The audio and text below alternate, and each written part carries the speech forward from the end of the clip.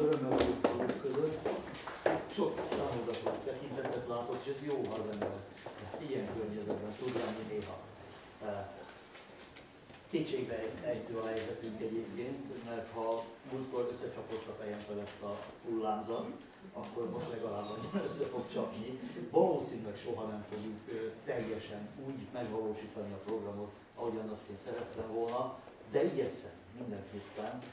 Nem csak az anyag, amivel foglalkozunk, rengeteg minden kimaradt, ki kell, hogy maradjon belőle.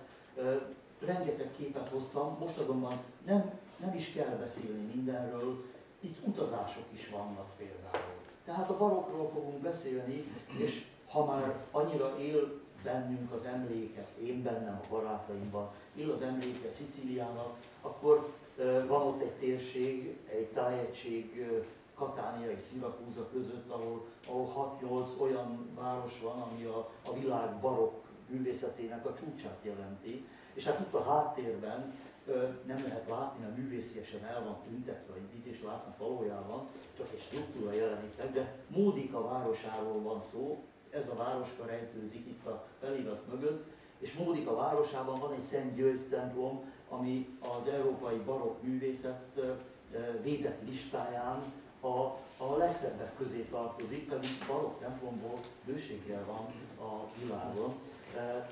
És ott majd sétálni fogunk. Egy-két várost megnézünk, csak úgy szaladgálunk a lépcsőkön, látjuk a homlokzatokat, lenézünk, elnézünk. Én nem is fogom kommentálni, csak, csak pörgetem majd ezeket a képeket. Tehát a sok képet valahogy meg fogjuk emészteni. A múltkori alkalommal ugye a, a, a nagymesterekkel tudtunk csak foglalkozni, átmeneti kategóriákkal nem foglalkozunk, de azért említem én Michelangelo Buonarroti utolsó ítéletének a fő alapját, mert ebben a figurában, illetve a kombinációban, ahogy megjelenik tulajdonképpen egy ilyen pantokrátor figura, aki nem nagyon kell, hogy kapcsolatba kerüljön a Máriával. Egy nagyon különös teológiai konstrukció, amit a bátor Michelangelo megengedett magának, hogy eltérjen a Fiúisten, és persze az édesanyja ábrázolásától, és a Fiúistenben megjelenik a, a, a, a világosztó, világbíró, üdvözítő alapja is. A 14. századtól kezdve egyébként ez nem ritka a képzőművészetben, hogy a, hogy a, a Teremtő Isten jelenik csak meg, és, és a, a, a történeteket magukat az emberré vált Krisztus, a fia hajtja végre. Különös a kép azért is, mert itt nagyon érdekes és talán ellenszenvesnek is tetsző formajátékokat ö, ö, tapasztal az ember. A léptékek rettenetesen, zavarosan cserélődnek. Tehát ö, az a rendszer, amit a múltkori alkalommal én próbáltam vázlatosan jelezni, hogy ha van egy biztos pontunk a, a, a valóságban, a világban, az eszmerendszerünkben, akkor ehhez még fogalmakat és térbeli ábrákat is nagyon jól tudunk társítani, ha van egy biztos pont. De abban a pillanatban, és ez a bánat ideje, ha a biztos pont elhomályosul, akkor a viszonylatok kiismerhetetlenebbé válnak, esetlegesebbé válnak. A közelítés a biztos ponthoz nem valószínűsíthető. Bizonytalan kerülőutak, rossz léptékek, tévedések jelenhetnek meg a reprezentációban is.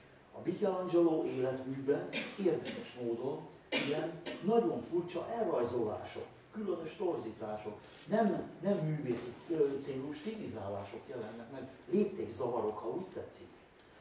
És megjelenik valami más, ami megint csak kevésbé az öröm idejéről, mint inkább a, a bánat, a szomorúság, vagy valami rezignáció hangjáról nevezetes, ahogy, ahogy az önarszképét a, a meggyőzött szenteltalan bőrére rá, ráteszi, szürreális a dolog, egészen különösen kötetlen megfogalmazása ez annak, hogy én miképpen vagyok benne a szentek történetében, vagy a mártír szentek történetében, a mártírium jelenléte, a művész, mint mártír jelenléte fogalmazódik meg. Különös, nagyon szokatlan gondolkodási pályák ezek, különös és szokatlan előadásmód, amit megkövetel a különös világ rögzítésének ez a belső kényszer.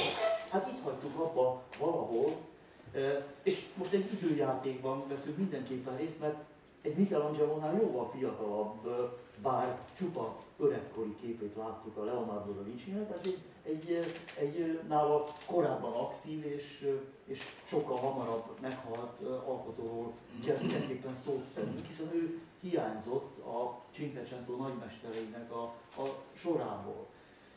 Amennyiben mi látjuk ezt a Vitruviusi modellt, ez majdnem akkor született, amikor a Michelangelo-nak az utolsó, illetve a 1499-es piétája, tehát nagyon közel van hozzá, de sokkal többet mond ez a rajz a, a Cinquecento törekvéseiről, mint bármi más, hiszen el van mondva benne, hogy az antikvitás formalkotó modellje, a Vitruviuszi célrendszer vagy tételrendszer, a, a, a mindennek mértéke az ember antik ideája előjött, és az ember figuráját, az antik léptékek és mértékek, a négyszög és a kör összefüggésének rendszerében ábrázolja. A Vitruviuszi ember a léptékek és mértékek hálózatában élő ember, a rendszerben élő ember, ez tulajdonképpen még azt is mondhatnánk nagyon bátran, hogy a felvilágosodást megelőlegező ö, ö, látásmód. Hogyan lehet racionálisan, világosan, érveléssel, a megismerés eredményeinek beépítésével teljesíteni egy rendszer. És hát ugye ezt mindenki ismeri ezt a, ezt a rajzot, ez a, kifejezetten az Anthropos Phantom Metron, az ember mindennek a léptéke, ideálnak a megjelenítése, hiszen középponti helyzetek kerül az ember, és mindent, amit az ember él, az a világegyetem szimbólumaként is felfoghatjuk. A négyszögnek, ugye a, a, a görög, latin, racionalista gondolkodásnak a szimbóluma jó ismert ábrázolás, a, a kör pedig ugye a, a, a mi ö, európai gondolkodásunkból, a négyszögből kiszerkesztett geometriai forma, aminek a magyarázatában egy szám, ez a pi, ez a Rudolféle szám, egy végtelen, nem szakaszos tizedes tört van, egy irracionális szám.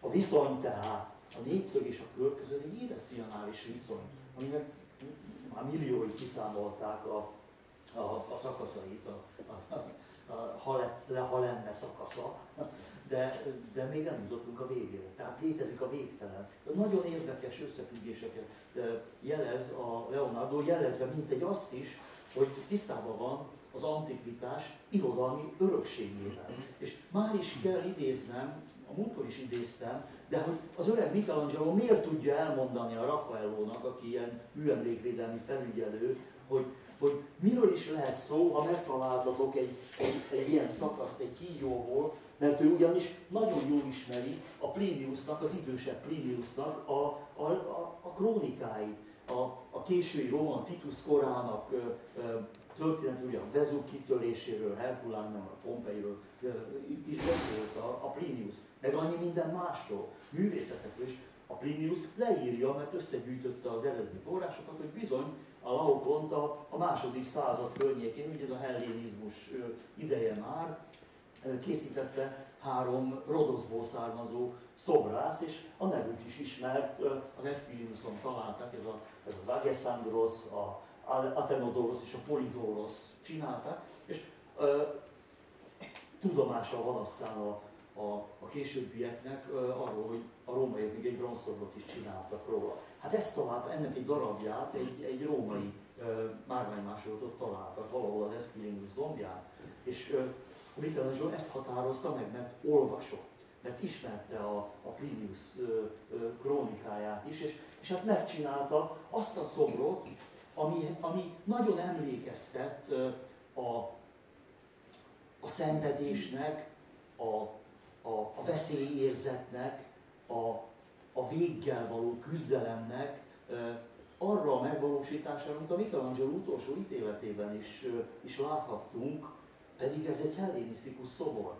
A hatása viszont, viszont nagyon-nagyon mély és átható ennek a szobornak, és a művészet, mint olyan, ami annyira, annyira sok esetben megfogalmazza azt, hogy az ember mivel is találkozhat az életben, nagyon sok játékot kínál az emberi gondolkodás számára. És elkezdenek játszani a lautó részleteivel, a figurákkal, az azt kifejezésekkel, átalakítják az antik berendezést, ezt a három tengelyes, gyönyörű, ugyanakkor mozgalmas elrendezést, átalakítják a saját észjárásuk és kézügyességük szerint. Megjelenik tehát egy olyan közeg a művészetben, amely a művészet közege. Ha valamikor és elítélőleg szóltak arról, hogy a művészet a művészetért van, a lárpullár, akkor ennek tulajdonképpen az egyik első nagy európai újkori megjelenése a, a, a Laokóhoz való viszony. Hiszen úgy kezdenek el foglalkozni vele, és úgy lesz nagyon fontos, sokszor idézett eleme a későbbieknek, hogy a művészetből vétetik maga a forma, meg a, az apropó, hogy művészet legyen. Hogy a művészet az oka annak, hogy a művészet legyen. Ez egy kicsit olmos okoskodás volna, ha tovább vinném a, a logikáját, de, de annyit azért bátor leszek megfogalmazni, hogy ha az egyetemes kultúrában a művészetet tekintették eddig minden emberi tudás és érzelem legmagasabb rendű foglalatának, akkor hogy a csodában ne lehetne a művészet számára sokat mondó ez a kompakt kifejezési forma, ami a művészet maga. Vagyis ha a művészet a művészettel foglalkozik, akkor a legmagasabb rendű összefüggéseket veszi terítékre, vagy, vagy veszi számba. Anélkül persze, hogy, hogy a tapasztalatot kizárná, a tapasztalatszerzés lehetőségét kizárná maga gyakorlatából. De mondom, ez egy olmos okoskodás, tovább is mennék, mert, mert inkább a Leonardo da Vinci-vel kellene foglalkozzunk, aki egyébként hihetetlenül konzervatív mester, és ha őt nem annyira érdekelni a művészet önmagában, mindentől függetlenül, mint amennyire, akkor biztos nem születtek volna meg ezek a rettentő műgondról árulkodó gyönyörűséges képek, amelyeket nyugodtan megvizsgálhatja. Most már fantasztikus kiadványok vannak, ahol, ahol a a négyzetméter, négyzetcentiméternyi felületeket is, is lefényképezik, és minden repedést látunk, és látjuk azt is, hogy milyen puha nyesszőr, ecsettel, minuciózus gondossággal, a miniatúra festő koncentrációjával alakította ki a Leonardo da Vinci a felületeket. Hát nem tudom, ez miért ilyen rossz ez a kép. Az egészet olyan jó, jó Itt olyan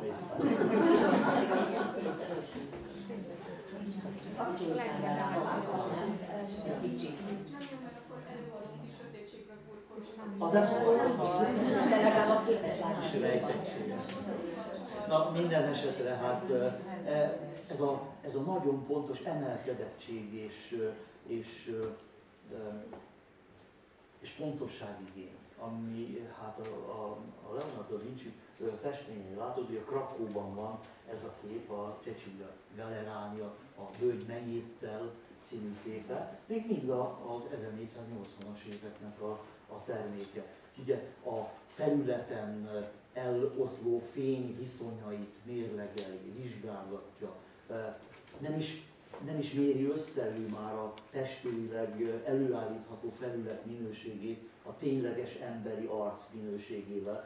Nem olyan, mint a girlandájú, aki, aki abban gyönyörködik, hogy hogyan lehet a lehető legpattanásosabb, dübjétcsókosabb felületeket megcsinálni egy nagypapa arcán, őt, őt a, a felület megmunkálása izgatja. Nem izgatja az sem, hogy a távlatban, ebben a chiaroscuro, ebben, a, ebben az elsötétülő, opálos, világosodó, a szfumátós, ilyen, ilyen füstös levegő perspektívában mi a valóság, mert a valóság biztos, hogy nem olyan, hanem a felületen hogyan lehet kialakítani egy teljesen autonóm, minden tekintetben hitelesnek látszó képét a valóságnak.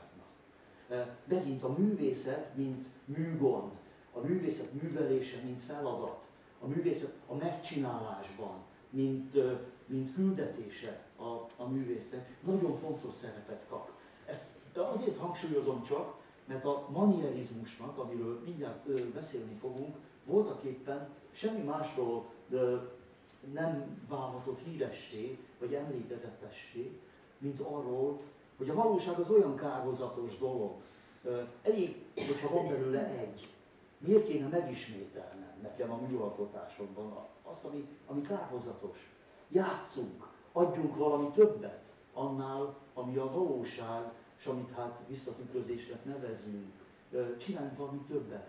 A legjobb úton a Leonardo da Vinci van e, e felé. Tehát olyan mesterségesen előállító felületeket hoz létre, amit mi valóságosnak mondunk persze, de a valóságban soha semmi nem ilyen, mint amit ő megvalósít. A levegő, a távlatok, a perspektív, mi ha látjuk ilyennek.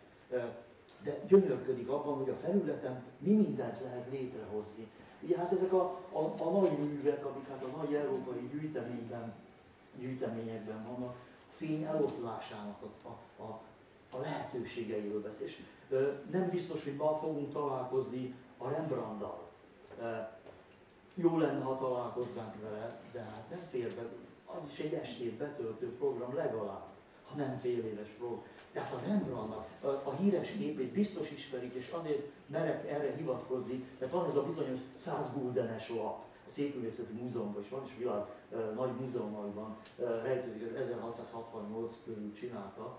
E, Krisztus meggyógyítja a beteget. Sziklák vannak, sziklák körben, sötét, sok-sok ember, rongyos zsidók, mindenféle szerzet ott, Amsterdam egyébként az Amsterdami zsidó negyedet látogatja. Fölülről jön a fény, és azonnal rájön az ember, hogy a Leonardo da Vinci sziklás madonnája az a Rembrandtot megbahonázta.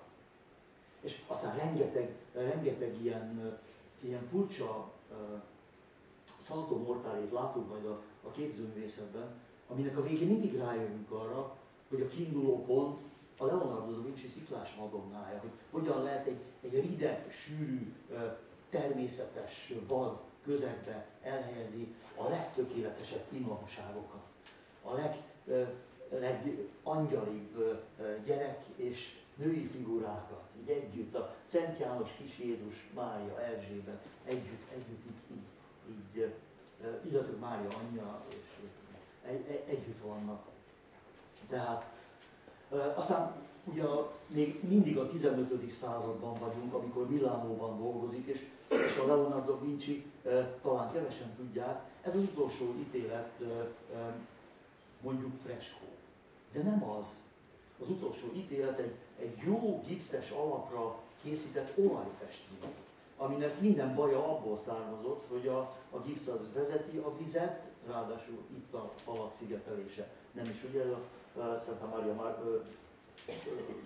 egy Milánói refektóriumban van, egy ebédlőben van, e, el is pusztult lényegében a kép, ráadásul még a, a, az asztal közepére egy, egy bejáratot is csináltak, és aztán restaurálták, és a restaurálás után hát valamit kivilágosodott a felület, de, de gipszen olajfesték, meg van pecsételve a sorsa. Olyan sors ez, mint a munkácsi képeké, a, a bitumenes alapozásra festett pigmentek elsüllyednek a bitumenes alapozás alatt, és, és hát ugye ma is frigiderekbe kell tartani a munkácsi képeket, mert, mert ugye ez a, ez a divatja a 19. század elejének a munkácsi az attraktivitás érdekében igénybe vette ezt a látványos technikát. Tudjuk, a sötét felületen a, a, a színek sokkal élénkebben, erőteljesebben érvényesülnek, de hát láthatóan volt kockázata ennek a dolognak. A érdekes módon a franciák a 19. század elején abba is hagyták a bitumenes alapozást. De kísérleteztek. És a Leonardo is kísérletezett. Kerül, amibe kerül és megsemmisültek ezek a képek, ott, ott a, az eredeti, és itt a, itt a, a restaurált változat, de nem élvezett a szónak abban az értelmében, ahogy a hölgy Hermelinnel, vagy a Szent Anna harmadmagával, vagy a Sziklás Madonna élvezett tárgya is tud lenni, mert a szépségnek olyan kompakt és olyan kidolgozott összefüggései látszanak rajta. És hát rengeteg műve eltűnt, pontosan ezek miatt a kísérletező, befejezetlen, félbehagyott technikai megoldások miatt. Hát az andiári csata, az is, az is egy, egy töredék, csak ugye egy, egy, egy nagy itáliai ilyen feudális konfliktusból származó csata, amiből a legérdemlegesebb változatot a, a Rubens jóvoltából kaphattuk meg, mert, a, mert az egy-két grafikai vázlatról eltekintve nincs képzetünk arról, hogy az angliai csata milyen lehetett.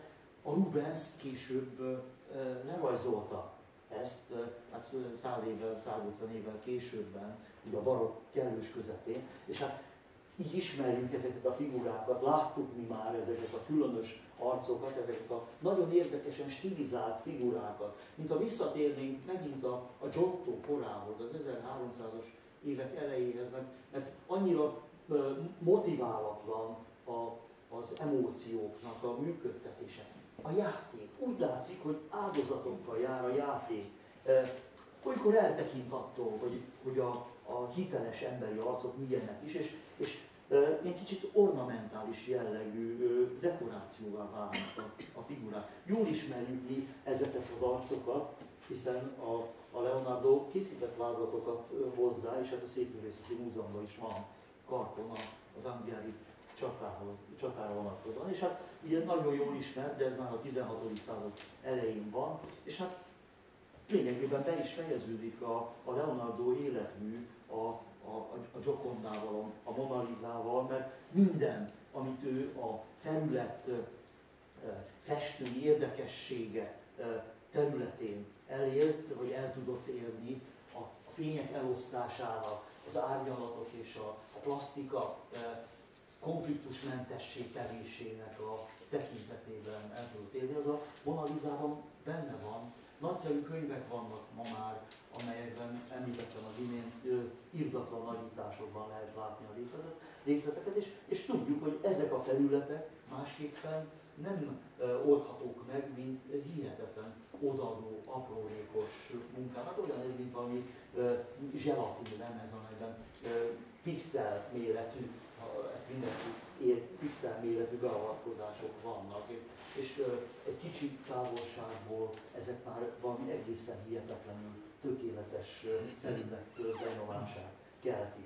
És a, a, a háttér nagy nagyítású részleteiben, a, a tájban pedig felfedezzük a, a színtüzesítésnek azokat az elveit egyébként, amelyeket majd az impressionizmus korában olyan bátran fognak alkalmazni, vagyis hát az optikailag egymással leginkább konfliktusos színkeveréseket, a zöldet és a vöröset, a zöld árnyalatot és a vörös árnyalat, rózsaszín, szívesen vegyíti egymással a kék kíséretében. Nagyon érdekes ez, hogy a, a Biedermeier korában, a 19. században egy-két lélegzetvétel, és már ott is vagyunk, következő találkozásunkkor már, már érintjük is talán ezt, a, ezt az időszakot. Látni fogjuk, hogy ez milyen hihetetlen önálló klasszikai értékké vált a későbbiekben.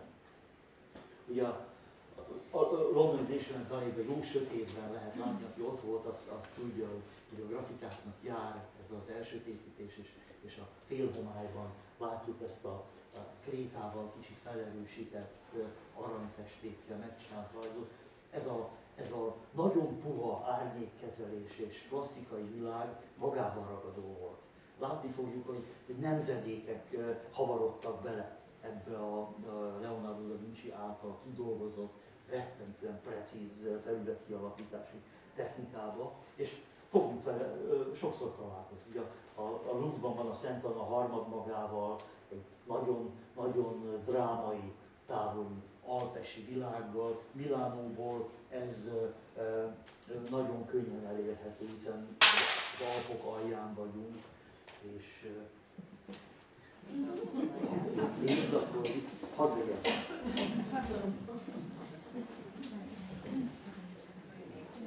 Jött az Jó. Nem is beszélek erről, hiszen mindenki, mindenki ismeri, látja, óriási történetek vannak, regények sokasága szól, szól arról, hogy filmeket csináltak, titokzatos krimit kerekedtek köré, kódokkal magyarázzuk és mindenfélével ezt a, a korszakot. Ettől számítva azért a Leonardo Vinci 1515 mégiscsak meghal, ő maga egy, egy Piperkőc aggastyán, aki említettem már, nem igen szíveli a, a, a, a mocskos képzőművészeket, a, a szobrászokat, gipszesek és piszkosak kezük, és udvartartása van, és minden kedveli az uralkodók társaságát is, és ehhez képest emelkedett szólásmódja is van. Ez egy nagyon nagy felbontású kép, tehát ezt akár tízszeres is föl tudnám nagyítani a Szent Jánosról, de bizonyos fokig hátborzongató, én most uh, talán uh, nem egészen szalonképes módon viszonyulok a Leonardo da Vinci-hez, de a tökéletesség az, az nagyon hat a cirkuszban is. Bravúros a Leonardo da Vinci. A tökéletesség az nagyon közel van a gics határhoz, amikor jól elsajátítható fogásokat nagy sebességgel, gyorsan, nagy példányszámban elő lehet már állítani. Nagyon népszerű figura a Szent János figurája, keresztelő Szent János figurájáról van szó. Hihetetlen átalakuláson ment az ikonográfiai modell keresztül, hiszen Szent János egyetlen példa van csak, de az későbbi, a Tiziano, a Tizianónak a, nem fogom vetíteni most itt eszembe, hogy kellett volna, a Tizianónak, a, mert hogy olyan közel van Velencében van a Velencei Akadémián, 600 km be lehet menni, ezért a képér is, Isten bizony mondom, megéri, mert a Tiziano az egyetlen talán, aki, meg a Roden, de hát a Roden az már a mi emberünk, az 20. századi ember, aki, aki csinál egy, egy atlétát a, keresztelő Jánosból. Egy igazi, derűs, antik figurát, akiben az aszkézisnek nyoma nincs. Tehát annyi fehérjét vesz magához, amitől a izmai kerekek és duzzadóak és robbanékonyak, fickó, és itt támaszkodik egy, egy botra alatt egy kicsi nyambat bárány, és ottan kötözkedik a, a Velencei Akadémia. De az későbbi, a Tiziano sokkal későbbi Velencében. Velence egyébként is egy dévai világ, ottan az aszkézisnek nem igen adnak helyet. E, hát ez is egy ilyen, egy ilyen dévaj ficsúr, ez a, ez a keresztelő Szent János. Egészen furcsa, ugye a, a Leonardo da Vinci beleakadt a, a, a, a Freud gond is ebbe az egész képbe, tehát a, a, a századforduló nagy lélekbúvárai számára ez az androgyn természet, egyszerre férfias, női jegyeket hordozó alak, miképpen a Mona Lisa maga is inspiráló és csiklandó téma volt, és, és hát Picasso személyiség vonásai, ő Picasso. Mert arra gondol, Leonardo személyiség vonásaihoz. Ez mindenképpen az, ugye a, a Sigmund Freud írt is egy könyvet a nagy történelmi figurák között a Leonardo da Vinci-ről. A lényegében ugye ő ezt a, ezt a, ezt a személyiségnek, a női és a férfi személyiségnek ezt a különös együttélését művekben reprezentálva fölfedezték erről, erről beszélt. Mindenesetre én az előbb azt mondtam, hogy egy kicsit talán ellenszenves a beállításom, amit itt most megfogalmaztam, de valóban úgy tűnik, hogy a Leonardo da Vinci utánzók azok tökéletesen lecsúsztak a, a, a, a Gics közelébe, és nem véletlen, hogy a, a diszfunkcionális egyházművészet szépen lassan, de nagyon nagy példányszámon kezdi használni ezeket, a, ezeket az édeskés figurákat. Sokszor idézik legtöbbet másolt festmények, azért a Leonardo Vinci képei nagyon sokan utánoztak. Mi is találkozunk majd még itt ezen az estén az ő, az ő későbbi hatásával. De hát a, a műgond azért, a, a keresztül János mutatókerület azért mindenképpen érzékelhető a, a, a, a nagy nagyításban. Tehát egy kicsit játék a művészetekkel. És ha már itt a halála évében létrejött festményt a Jacopo Pontornónak, a Jacopo Pontormónak a, a képét idézzük fel, minden, minden ízében a Leonardo da Vinci technológiát használja fel, fogunk még vele többször is találkozni, de teljesen nyilvánvaló, hogy ez, a, ez az édes kis jelenet, ami ráadásul az antikvitásból van véve, tehát nem a, a keresztény teológiai példázatok vannak itt elővéve, hanem igen, egy, egy politeista pogány jelenet, amiben van dévajság is elég, hiszen Zeusról szól, aki ezen alatban kereste a kapcsolatot csinos hölgyekkel. Hát a Léda ugye ez egy közismert és központi célpontja volt a, a főistennek. Hát itt ugye egy, egy hattyú formájában közelít a, a, a, Léda. Tehát maga a történet is a, a keresztény közegben az öröm ideje tulajdonképpen, miközben az inkvizíció lendületben van, miközben már a törökök Európa közepén vannak, miközben a reformáció tanai veszedelmesen közelednek és, és formálódnak, és olyan társadalmi mozgások indulnak el Európában, amelyek nagyon figyelmet érdemelnének. A gazdag egyházi és világi udvarokban ez az előadásmód sikeressé válik. A, a pontornó alapjait rengetegszer fogjuk majd látni, most itt át fogunk szaladni, hiszen szinte egy az egyben adózik a Leonardo da Vinci által bevezetett tematikai megoldásoknak.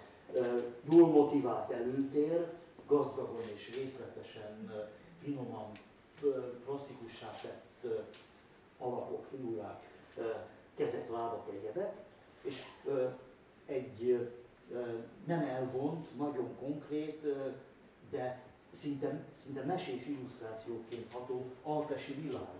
A kettő együtt. Velence közegére is emlékezett, emlékeztet ez a, ez a dolog, de inkább az atmoszférával. És csak azért említem Velencét itt most meg, mert fogunk találkozni a velencei mesterekkel, és ott azonnal fel kell ismernünk, hogy egyidejűleg él bennük az atmoszférikus helyzettől függően a vonalak imádata, a szigorú és korrekt körvonal, és egyidejűleg él bennük az ámulat a puhán megfogalmazott festői foltokban előadódó iránt. Miért? Mert Velence tengerparti város, de nagyon közel van hozzá az Alpesek, a, a, a, az Alpok hegylánca. Ha úgy fúj a szél, akkor kitisztítja az opálos, nedves, páradús levegőt a város fölül, és egy teljesen szikrázó, tiszta, torzításmentes képét dolgozzuk fel a valóságnak, amiben a 60 kilométerre lévő óriási hegyek is közel lévőnek látszanak.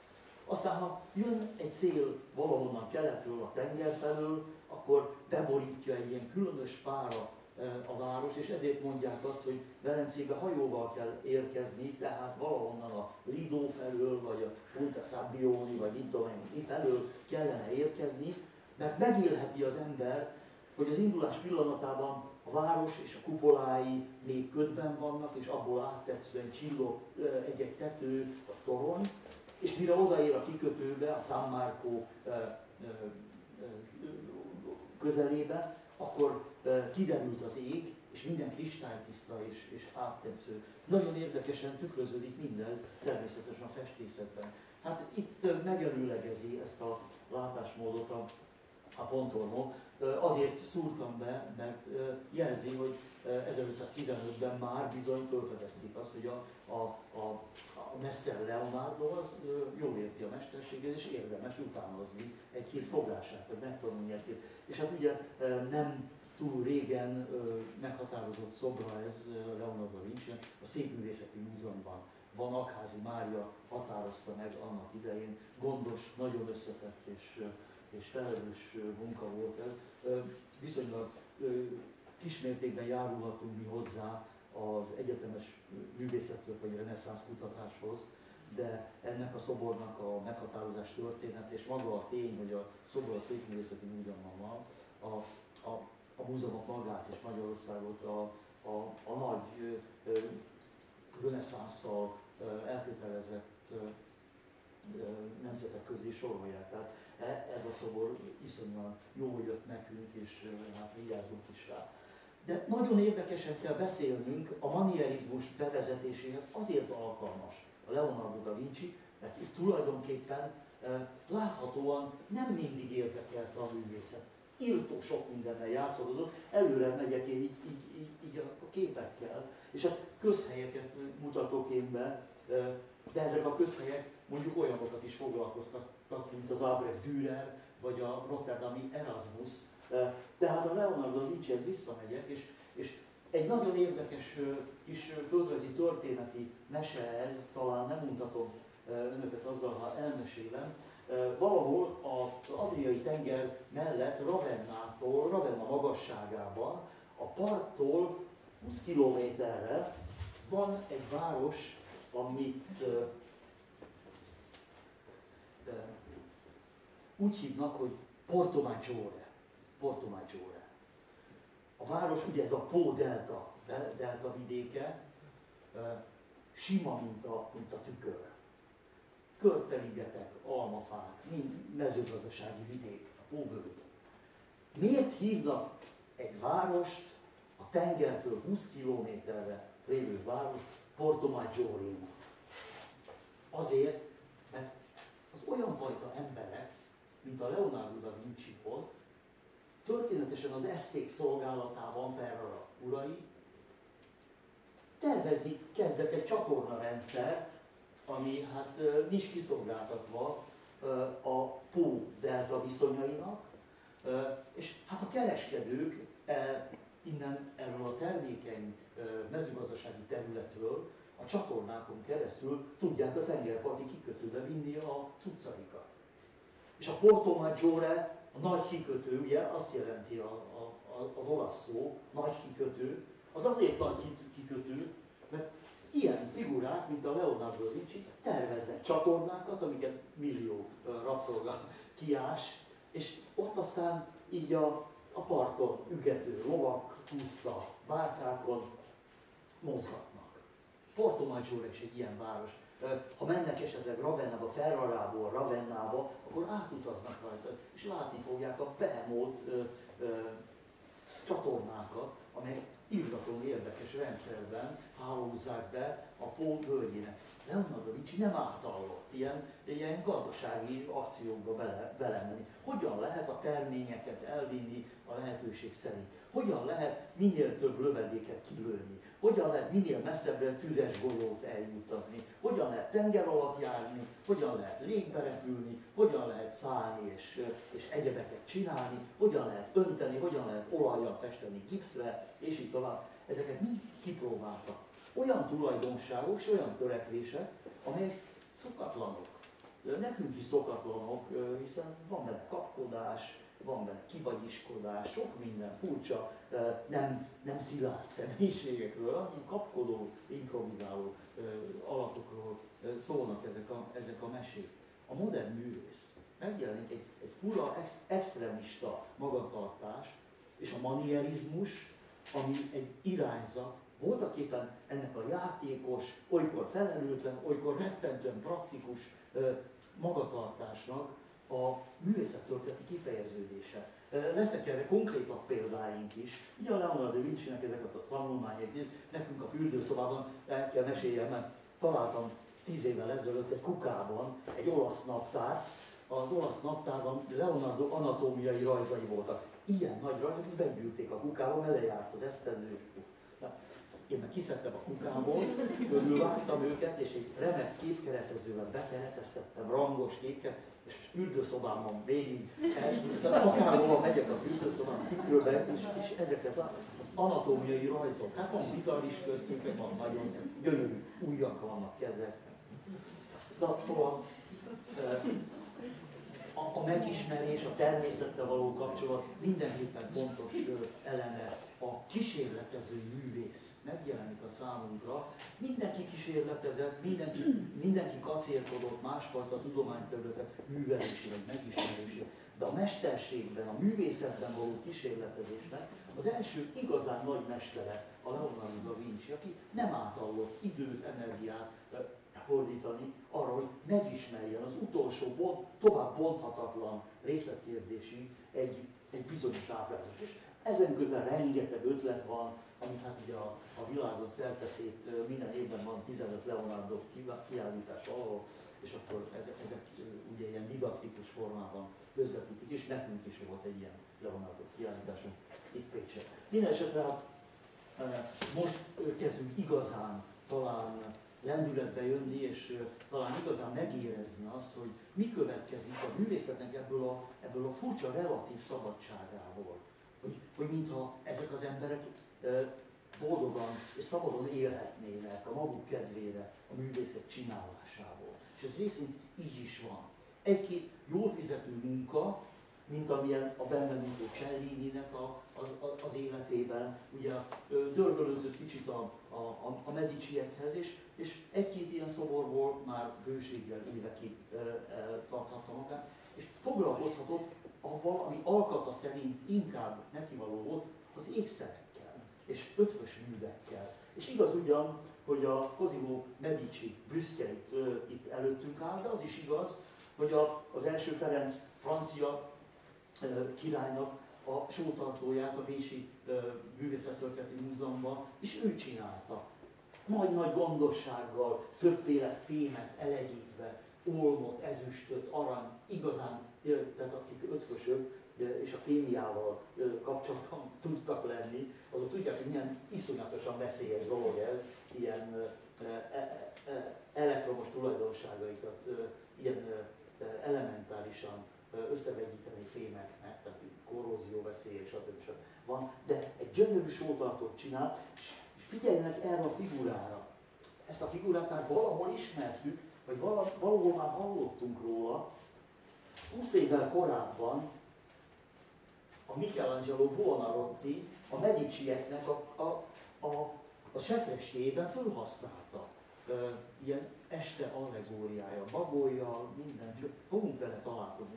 És amikor ez a Bartolomeo Ammanati 1560-ban, tehát az előzőtől 10 évvel később, vagy 20 évvel később, bocsánat, megcsinálja ezt, ezt a szobrot, ráismernek, ráismernek ezen a kúton, ami Firenze közepén van, a Dávidtól 20 méterre van, egy ilyen nagy vízköpő rendszer, tritonok, nereidák, poszeiról de vannak itt ezen a szoborcsoport, de ráismernek a modellre, az elsőre.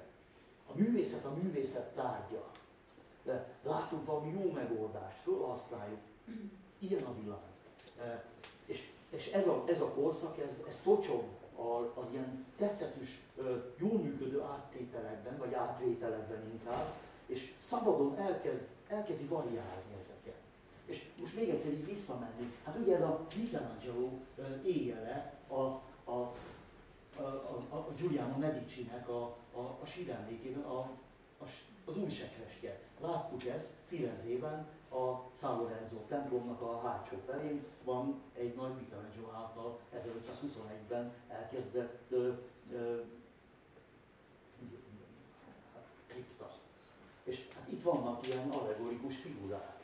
De már ez a Michelangelo részéről is nagyon érdekes, ahogy ide ilyen, egy ilyen rettentően életszerű, tulajdonképpen a, a figura simaságával és a női test arányosságával talán ellenszenvesen kapcsolódó bagoly alakja kerül, nyilván az allegorikus tartalom az éjjelről van szó, és, és ez, a, ez, a, ez a különös pokolfajzat itt egy ilyen faun figurája, de nem tudjuk eldönteni, hogy állarce, vagy ö, üres állarc, vagy, vagy talán valami figura, vagy valami régi, antik örökség. Nagyon, nagyon ez az egész, egész dolog. De most visszapörgetném, csak ugye a játék kedvéért, hogy az Ammanati útjában ezek a figurák mennyire tele vannak. Hát ez ugye nem a kút figurája, hanem ez egy autonóm szobor, 40 évvel később, mint ahogy a Michelangelo megfogalmazta maguk, de teljesen nyilvánvaló, hogy a, a Michelangelo által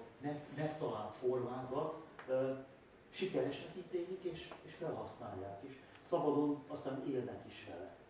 Vagy itt van ugyanennek az időszaknak a prágai udvara. Nem beszélünk még így Kelet-Európáról, sokat nem is fogunk egyelőre beszélni róla, mert követő. Kelet-Európa autonómiája korlátozott. De az biztos, hogy mondjuk a, a Giuseppe Arcimboldoban egy rendkívül érdekes alak jelent meg második Rudolf prágai udvarában. Félig meddig olasz származású Ipse, de alapvetően német. És a hivatala a prágai királyi udvarban ugyanaz, amit a Hubert és a Jan van Eyck a Dizsoni hercegnél is kapott, látványtervező volt. Vagyis hát halotti felvonulások, esküvő, lovak fejére, bojtok, tortákat tervezni, világításokat tervezni, hogy szép legyen a világ, és hát mellesleg dolgozott is, no de hát miket csinál?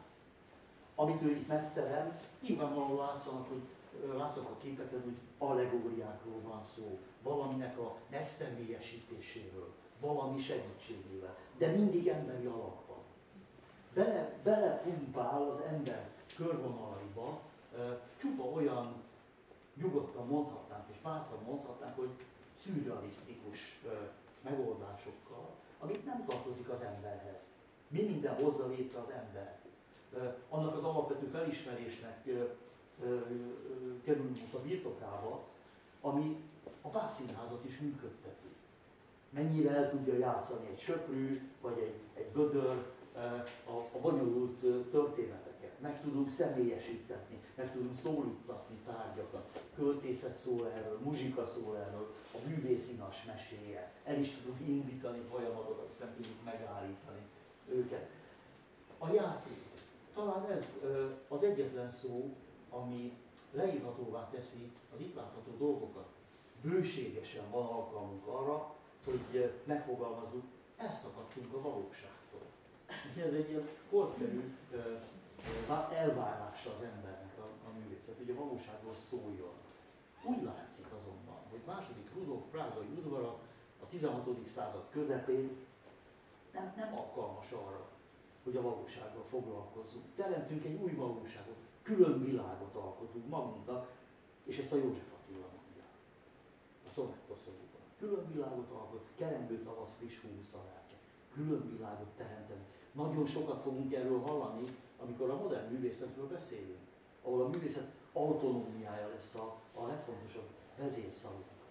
A művészet a művészet kedvéért, elsütöttem én már ezt a gondolattávozamot e, ezen, a, ezen az estén, de itt most akkor az Archimboldot nézzük meg, a víz allegóriája. Hát persze, ami a vízzel az emberi tapasztalat számára összefüggő ismeret, az belekerül egy emberi figurába. És akkor lehetne egy ilyen jó rendszertani gyakorlat, hogy a biológia tanárok nyilván tapsikolnak örömükben, mert hát a vízi, vízi élőlényeknek szerint se számol a dolgokban. Ha Isten segít, akkor ma este még én is fogok hozni saját termésű vízi élőlényeket a palermói piacról, amit én összevetek, polifokat fogunk látni egy, egy, egy ládában, amit én összevetek szicíliai város szerkezetekkel. És a város ez pont olyan, mint a polifoka ládában. Ha meglátják, nagyon érdekesen.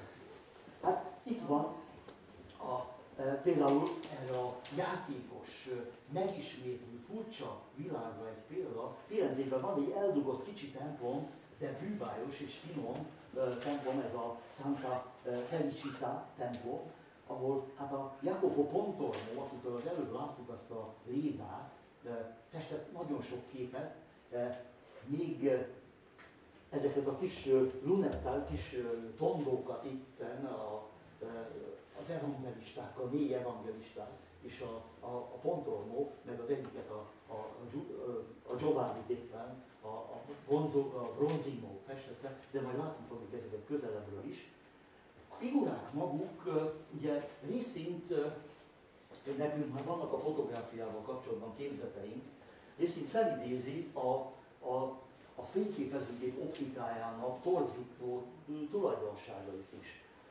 Ha megnézik a Csontvárinak a Pragenka nénikéről festett képét, a almáthámozó öregasszony, még a 19. század végén csinálta, 93 körül csinált, biztos emlékeznek rá, öreg néni ül és almát hámoz, ügbályos kép. Na, ott is ezt látják, hogy a, az optikához közel lévő kéz.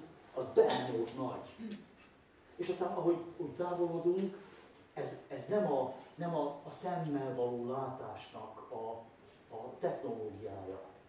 A szem az, az kiegyensúlyozottabban lát, jobban differenciál a térben.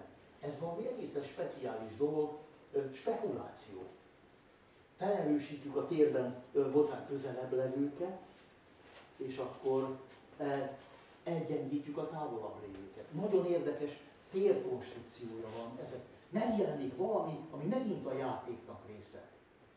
Leszakadtunk a valóság törvényeiről, a tudományos vizsgálat eredményeiről, és elkezdünk játszani a felülettel. Na hát ez a, ez a Jacopo Pontornak, a San giovanni -a. ugye a János evangelista.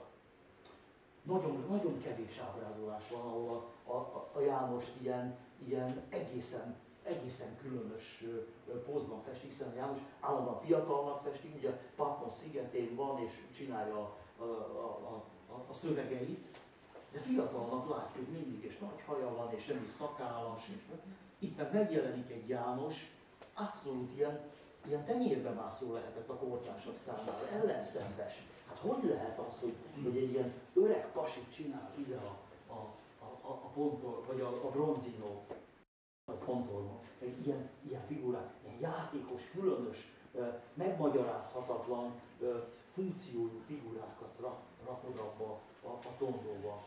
Ugye itt is a pont, pontozóról van szó. És a Lukács figura, négy, négy evangelistáról van szó ebben. És hát akkor itt van a, a levétel a keresztről című kép, de nem túl jó minőségű kép, mert egy, egy könyvből másoltam ki, de hát azért ebben a képben rengeteg ilyen, ilyen ö, felületesség van, ilyen, ilyen tenyérbe mászó, tovakodó lelki működések vannak, mímelt, mímelt érzések vannak.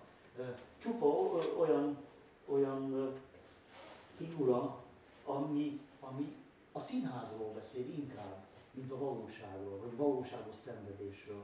A Laokomban több szenvedés volt, mint ennek a Máriának az arcán, mert nem, ész, nem át pontosan, és mélyen már a, a, a különös tortúráknak a, a, az érzését. Messze van a története a keresztrefeszítésről. Távoli és, és, és egészen különös, szinte azt lehetne mondani, hogy más problémák, problémák érdeklik, mint a, a keresztrefeszítés, a festő. Ő tényleg az emberi arcok érdeklik, a, a rémület ábrázolás. Egészen, egészen különös a, a modern ember számára nagyon közel álló figurákat látunk itt ezeken a területeken. Különös tárgyra nyitott szemek is. Fogunk találkozni, megint nem, nem sokkal később, de fogunk találkozni majd az angol preraffalitákkal, hogy ez a, ez a különös stilizált játékosság milyen erős lesz majd náluk. Az angoloknál a 19. század harmadik harmadában sok ilyen képet fogunk, fogunk látni, mert, mert nagyon érdekesen él bennük a manév, a modor. A festőnek van egy sajátossága, egy modora, egy, egy-két motivumból összegyűlt ö, ö, sajátossága, amit minden művében megpróbál érvényesíteni. Ö, mert individuális jelentősége lesz a művészetnek, a művész az a, az értelmiségi élet kiválasztott és kedvezményezett alakjává válik, megéri művésznek lenni, a művészi válásnak pedig, a népszerűvé válásnak pedig fontos és elengedhetetlen kísérő jegye, hogy legyen egy stíluson. Eltűnik egy kicsit a korstílus mindent eligazító szabályrendszere. És megjelenik először az egyéni stílus és megoldás ereje. A Leonardo da Vinci-nél is jeleztük már ezt, de itt most elkezdődik, ugye a Bronzinoval, illetőleg a Benvenuto Cellinivel együtt is láttuk mi ezt. Benvenuto Cellini is egyébként egy nagy kísérletező volt, és ha kalandos könyvet, hogy, hogy gyerekeknek, unokáknak, akárkinek akarnak mondani művész életrajzot, az Alexandre Dumának van egy könyve, magyarul is megjelent, az Ascanio, az a címe, és tulajdonképpen a Benvenuto Cellini életét a naplója és írásai alapján, mert ő is nagy krónikás volt, írja meg az Alexandre Dumas. És ez egy, ez egy ilyen romantikus, késő romantikus francia regény, gyönyörűen le vannak írva itt a, a, az öntési eljárások például, hogy, a, hogy Firenzében, Mantovában hogyan dolgoznak a művészek, egy, egy uralkodó, egy, egy princip, egy herceg, hogyan kíván szobrot állítani, annak, hogyan állnak neki, és fűtenek, és olvasztanak, és mit tudom, micsoda. Ascanio, tehát nagyon érdekes, szép könyv. A személyes előadásmód, a, a modor az elsődlegessé válik. Minden festő igyekszik kialakítani valamilyen modor. Korábban a Giotto idejében még azt mondtuk, hogy Giotto iskolája, és akkor egy egységes stílus képzete él bennünk. Hogy kiadjuk a szánkon azt a fogalmat, hogy a Pécsi műhelykora, akkor nagyjából azt látjuk, hogy van egy szerzetesi szobrászműhely, itt lepakoltak szobrokat, aztán elmozdultak Quedlinburg felé, Észak-Németországban, aztán Lundnál száz év múlva landoltak, Svédországban, és ott is ugyanazt csinálták, amit ebben a műhelyben sokan, a műhely, a műhely nyelve volt ez, amit Toulouse-ból, meg Moissagból, meg honnan összemozaikoltak szépen, de egy sajátságos nyelvet ki tudtak alakítani. Itt most már az individuális stílussal foglalkozunk, és egyre erőteljesebbé válnak. És hát most találkozunk ezzel az Agnolo Bronzinóval, aki a, a Szent János figuráját, a Giovanni csinálta, meg a kopasz, nagyszakálú ember csinálta ott a Santa Felicitát a templomban, Firenzében. És akkor most itt van a Bronzino, aki Dante-nak a portréját csinál, ugye a, Dante világépítménye, az isteni színjátékban ott lévő világépítmény a háttérben, ami egészen különös, mesterségesen kialakított ö, ragyogásban, teljesen képzelet szülte ö, világ. A Dante figurája épp annyira irodalmi leírásokon alapul, hiszen nem találkoztak Dante-val, mint a, mint a környezet rekonstrukciója. Irodalmi szövegek alapján megépíteni egy képzőművészeti keretet. Nagyon érdekes játék, de a valóság feldolgozására csak annyiban van köze, hogy, hogy bizonyos modelleket talán lehet figyelni, embert, építményt ehhez az egész dologhoz. Nem élvezik túlságosan a képet, de hát ugye az antik történetekből elkezdenek előjönni, meg a bibliai történetekből is a, a véres jelenetek, az excentrikus megfogalmazások elkezdenek megszaporodni a Juditok és a Holofernesek, itt a, a keresztülő János fejevétele és a csak vér legyen, folyjon. A megnyúzás az egy különösen érdekes, érdekes téma, így ikonográfiai szempontból érdemes erre tulajdonképpen rámutatni, akinek nagyon sok ideje van, az, az akár még szórakozást is, is lehet benne, hogy, hogy, hogy, hogy, hogy megszaporodnak a nyúzások. Öröm és a bánat, ugye? Van itt félelem, van itt nyugtalanság ebben a világon. Marziást ugye megnyúzták, miért nyúzták meg? Mert elcsenik a Pallas Athénétől a furujáját. És akkor az Istenek úgy találták, hogy, hogy hát ez olyan járó bűn, hogy, hogy hát meg kell nyúzni. Marziász egy, ez egy szerencsétlen szerelmes faun volt, aki hát imádta az Istennőt. meg akart minden áron tanulni, fúvalálni. És hát ez lett a vége. És hát itt most a véres jelenet az antikvitás eszébe nem jutott ilyen pontosan ábrázolni ezt a, ezt a dolgot. Nincs példa rá, hogy. De így ezt megcsináljuk. Vagy itt van ez a bronzinok, tehát a szerepjátszás, a színház, a, a hidegség és a spekulatív, mesterségesen elő, előállított figuráció. Hihetetlen érdekes, mint az első egyike lenne a bronzinó, aki úgy fest meg egy portrét, hogy csak a felét festi meg, mert a másikat egy tükör segítségével rá tudja másolni a felületre. Te, ugye az emberi test az aszimmetrikus és, és nagyon mozgékony, hürge. A képek úgy születnek meg, hogy teljesen szabályosak, hidegek, érzelemmentes, abszolút mesterséges ilyen, ilyen hát az, az zombit azt másra szokták használni, de inkább élő halottnak kellene kellene nevezni ezeket. És ilyeneket fogunk látni. Fiatal arisztokrata nő a gyermekével. Úgy tartja a gyermekét itt a, a, a, a kezében, mint a Michelangelo éjszaka allegóriájában, az a ö, szem ö, öreg állat volt a, a nő könyöki alatt. Furcsa játékok jelennek meg itt az arca ennek a figurának. A szigorú, szenvedélymentes, érzelemmentes, ám de nagyon pontosan megvalósult munka ez. Hideg, viasszorok. Bronzino fantasztikus mester. És, és ő az egyébként, aki különösebben nem finnyás, nem stilizál és nem, nem idealizál. Nem, nem szép a nő. Egy toledói hercegnő 1560, kimaradt az ó. De, de hát hideg.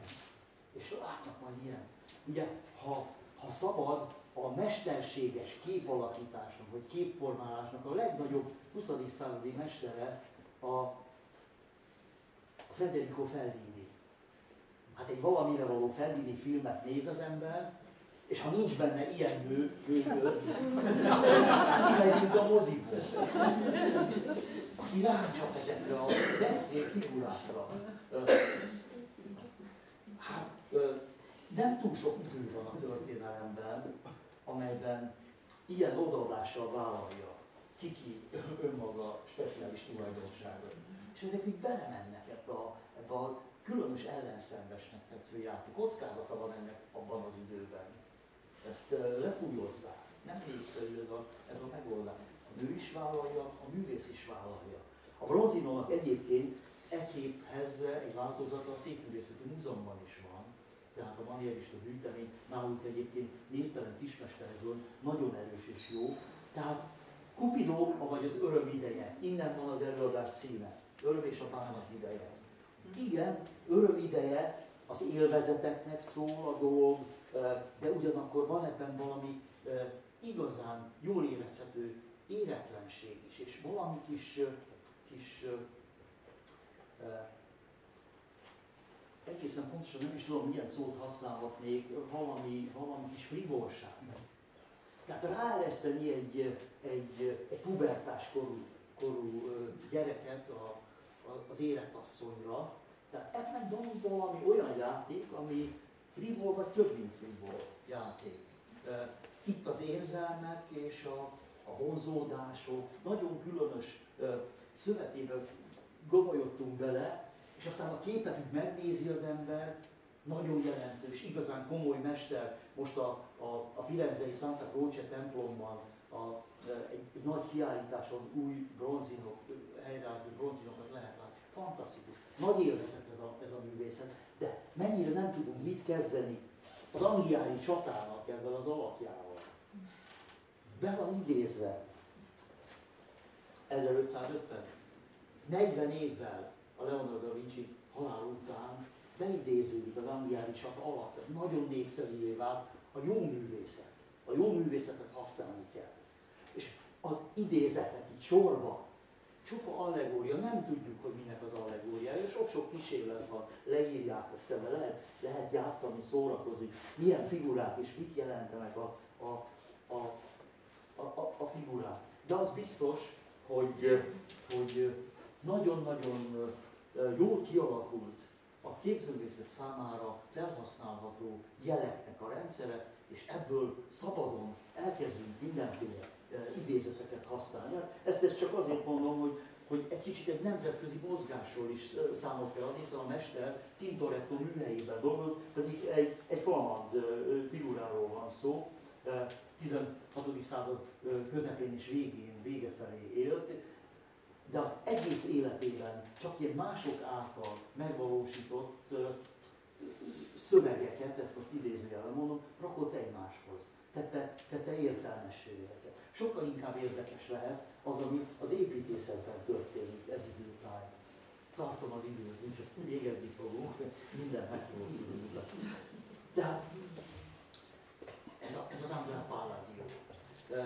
Veneto főépítészévé válik. Az első mai értelemben vett nagy vállalkozó, nagy építési vállalkozó. Az Andrea Palladionak ugye ügye, ügyes a fiú, sok jó kis antikizáló templommal kezdi, de aztán rájön arra, hogy minden oszlop egyforma. Többet, kevesebbet teszünk. Minden ablak párkány egyforma. Minden kapufélfa egyforma, minden ív egyforma, minden baluszter egyforma, minden lépcső egyforma, minden virág ö, ö, váza egyforma, csak a mennyiségek ö, különböztetik meg az egyik épületet a másikot. Gyártsunk akkor 10 ezer darab baluszter, 500 km párkányt a, a kerítésekhez, 40 ezer darab ablakkeretet, és itt van, és itt van. Jó kis műhelyeket csináltak Kararában, és hát a távszekerek hozták Venétóba, ugye Venétó egy hatalmas tartomány, mert nem csak Velence tartozik hozzá, ami egyébként ebben az időszakban a világ leggazdagabb városában volt, hanem ott a Pádova és a, a környéke is, de hát az Alpok alja is még Venétóhoz tartozott. És hát ez, a, ez, a, ez az Atra Palladio Vicenzában született egyébként, ami Pádovától egy pár kilométerrel jövő, Velencétől sincs messze 40 kilométer és Vicenzában, a szülővárosában ő, ő elérte azt, hogy majdnem minden fontos épületet ő épített, és említettem, hogy az antikvitás épület típusaiból, tehát talán emlékezzek, talán nem, de a Leon Battista Albertinnek a, a Rimini Malatesták templomát én vetítettem, és akkor mondtam, hogy igaz ugyan, hogy úgy néz ki, mintha egy reneszánsz templom lenne, de valójában teljesen antik arányokat és, és tagozatokat hordoz, Hát ő is, ő, mármint a Andrea Palladio is ilyeneket épített fiatal korában, ám de Vicenzában, élete második felében, a sikeres nagy periódusban, tehát az 1550-es évektől, akkor már Velencében nagyon sok templomot épített, és, és föl tudott építeni valóban egy, egy óriási építési vállalkozás.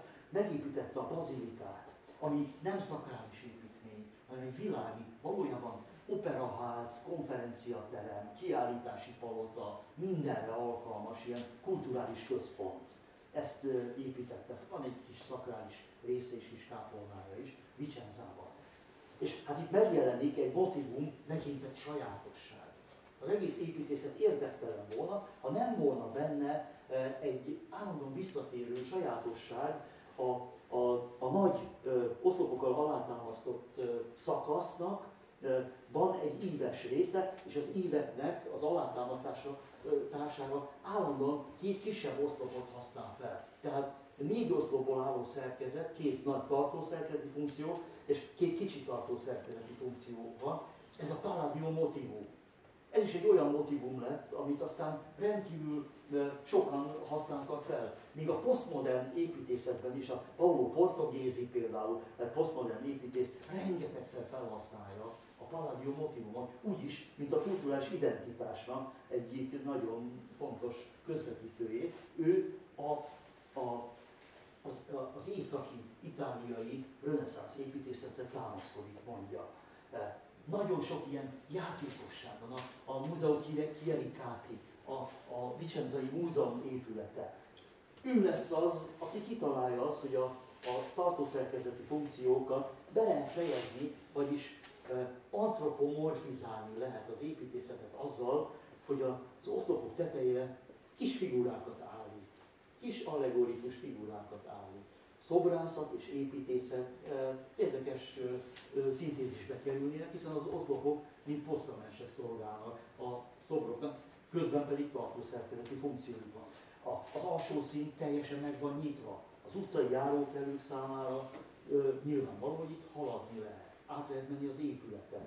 Olyan ez, mint amit a Le Corbusier ki fog találni, hogy, hogy a, az épület által eh, elbitorolt kertet föl kell tenni a lapos tetőre, a házat meg meg kell emelni, hogy a gyalogos azért át tudjon menni a, a, az, az épület alatt. Valami hasonló vállalkozás történt. De nagyon sok mindent megfogalmaznak ebben a, ebben a játékos variációkat kereső ö, kultúrában, a kapitán Bernardo a, a polgárőrség kap, parancsnokának épített egy házat. Ugye a, a helyi rendőr kapitány. Az építész csinál neki egy házat, hát elfér biztos benne. De hát itt is ugye az emeleteket átívelő oszlopok, aztán az egész egyetemes épület Leningrádba, Pétervára elmennek, és nézik a Rastrelli palotákat, és már ugyanazt fogják látni, amit a Palladiói kitalált. Emeleteket áthidaló oszlopok rend, csak ott vakulatból, meg téglából, meg balterből van, itt meg valóságos, igazi, jól faragott kövekből van. Vagy hát a San Giorgio Maggiore Velencében mindenki látja a, a, a Szent térből, ha átnéz az ember, akkor látja a Szent templom. Nagyon egyszerű templom, és minden eleme tulajdonképpen ezerféle formában legyártott. Jó ismer, minden épületénél ezeket a megoldásokat használja fel. De a léptékben, méretben, számosságban mindenütt különbség van, és ezért minden különbözik is egymástól. A San Giorgio boltozat és kupola rendszere, láttunk már ilyen, nem is ö, olyan nagyon érdekes. Ez is Vicenzában van, a kapitány házával átellenben egy kisebb méretű ö, ház, a városba bejövő egyik főutcának a, a sarkán olyan, mintha egy ilyen, egy ilyen, egy ilyen kaputorony lenne. Milyen, milyen nagyon különös, bizarr játékosság ez. Ilyen oszlopoknál itt az ember, monumentál, hihetetlen az egész, egyszer beírja abba, hogy, hogy kettő darab, kettő darab falsikot tart meg. Ennyi az egész. Tehát ez olyan, mint egy szimfóniát eh, harangoznának be, és a szimfónia nem állna semmi másból, mint egy nagy dobütésből, meg egy cintányér összeverésből. Viszont hát, játék. Nagyon különös, érdekes, és a közösség elfogadja, és, és, és beépíti a tudatát. De a legérdekesebb a Teatro Olimpico. Nagyon nagy történet, hiszen Vicenza is egy olyan város, gazdag szőlővel foglalkozó város, hatalmas mezőgazdasági területek vannak a környékén, és piac, ott van Velence egy köpésre, és, és mindent eladnak, és mindent megvesznek Velencében. Nagyon gazdag város. És ugye az arisztokráciája jelentős vállalkozók ezek, és, és egy, egy vonzó, ilyen katolista, empatikus vitaműhely alakul ki. Itt a, a, a vicenzai polgárok írják róluk, hogy kart-karba öltve sétálgatnak, tógát nem viselnek, de egy karcs férfiak sétálgatnak, és Plátóról beszélnek, és logikáról, matematikai problémákról. Tehát próbálják feldolgozni a világunkat, és lehetőleg filozófia módszereivel és nyelvén. És ők kitalálják, hogy, hogy meg kéne csinálni az ideális színházat. Darabok még nincsenek, az antikvitásból tudunk persze kölcsönözni darabokat, de építsünk mi Vicenzában egy olyan színházat, ami az egész világon már eltűnt, mert hát az antik színházak mind elmentek, de építsük az olimpiai színházat. A Hell, Hellázban vagyunk, és a, a Vicenzai Andrea Palladio vállalja ezt a feladatot, érett és rafinált fiú, 1585-ben van már 60 éves, mondjuk, minden hájjal megkent, megkent kultúrember, aki megcsinálja, Részint az olimpiai színházat, tehát ez egy kicsit megtévesztő, mert ma is használják a színházat, és nagyon-nagyon szép koncerteket egyebeket is csinálnak. Itt a, itt a klasszikus római ö, görög színház, inkább római, mint görög. Ö, ugye a kulisszafalak, itt ezek a, előtt játszódnak a jelenetek. Ám de ő megnyitja három helyen a, a, a színházi kulisszákat, ami a görög színházban is volt természetesen, az Taormina, egy görög színházat megnézik, akár csontvári képén, akár a valóságban, azt fogják látni, hogy igenis léteznek ott ezek a, ezek a nyílások. És ott beépít a nyílásokba az ideális városból, amiről a Quattrocento korában már szót ejtettünk, változatokat.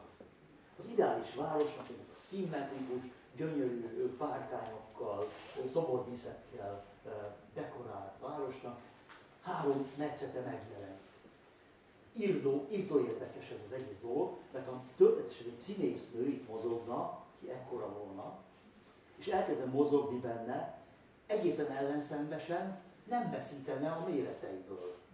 Mert ez a, ez a díszlet három méteren belül oldja meg a 150 méteres távolatot.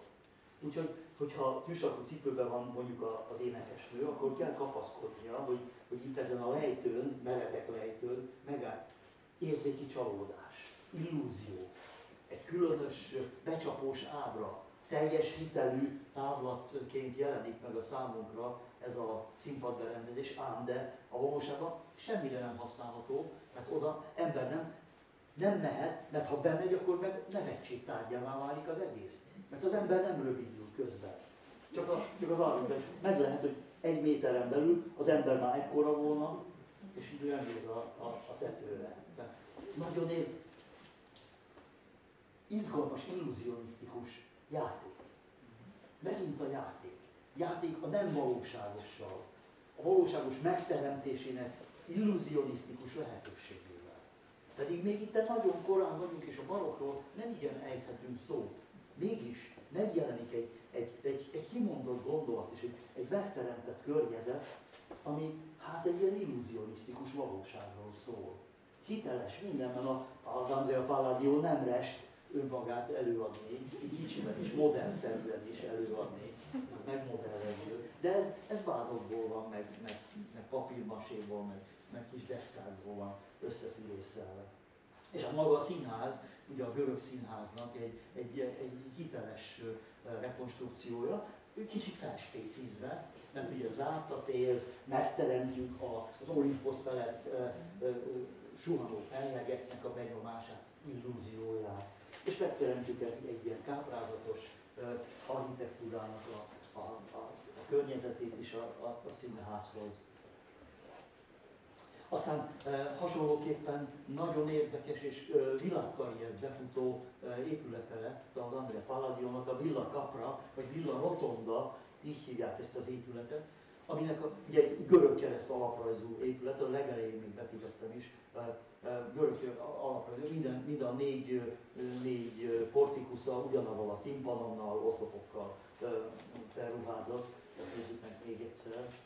Villa, tulajdonképpen egy szőlő közepén lévő villa, nem is túl lakályos, mert egy központi tere van, és abból négy irányba kicsi cellák izelődnek le, és nagyon hideg, mert, mert, mert kőből van az egész, de, de, de formás, formás és jó, jó nyaraló, aminek aztán a formáit szerte vitték a világ építészetében, és hát 1761 egy Robert, a Robert a 18. század legnagyobb angol építész, a Robert Eden épít egy, egy kis palotát, ott van a, a motivum. Vagy a Thomas Jefferson, az amerikai Egyesült Államok harmadik elnöke volt, aki nagy művészetbarát volt, és, és jogász volt egyébként függetlenségi nyilatkozat befogadáson is.